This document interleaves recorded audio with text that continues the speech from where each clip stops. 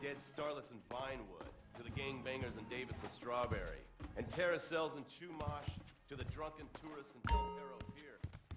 It's time to take a look inside this cesspit of destroyed dreams, drug-addled degenerates, and deluded desperados that make up this great city of lights.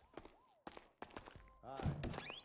I'm decorated FIB agent Stephen Haines. The FIB, the police department, and sheriff's office are fighting a war out here every day in a city where dreams too often become wet with tears. The Los Santos docks.